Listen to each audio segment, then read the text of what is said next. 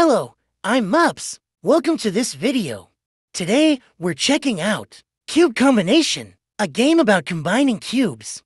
So press the like button, because this video will be awesome.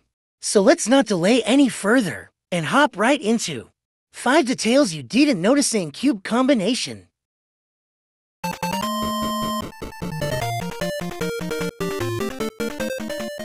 Number 1. Oyo Cube is a reference to a developer named Oyadays. So this cube is called the Oyo Cube. It's pretty useless and just moves round, but its name is actually a reference. This developer called Oyadays put it in the game as a referenchetto himself. Number 2. When you craft damage items, damage stays. This one is pretty self-explanatory, but still a huge attention to detail.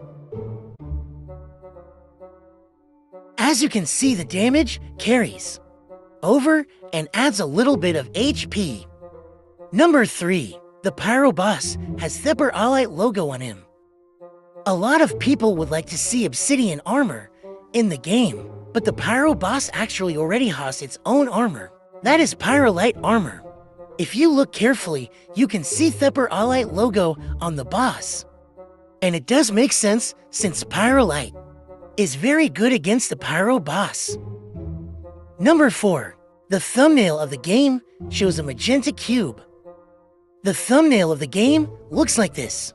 It actually shows a magenta cube being created. This is not a small detail, but does reveal something about the lore. Cubes don't just go on top of each other, but they actually merge to combine. Number 5. There are two badges that are unobtainable. So there are actually two badges nobody has obtained yet. The first is a stupidity badge. You have to get a 9 in Minesweeper. Why this is impossible is because you can only get an 8 in Minesweeper. The second one is Judgment. This one is possible, but very hard.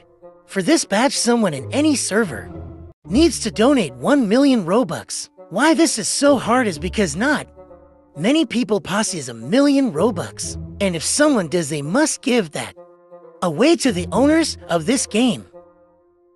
So there were five details you didn't notice in Cube Combination. If you enjoyed this video, press the subscribe button. And be sure to like if you hate people like this. Ugh, they always steal my iron.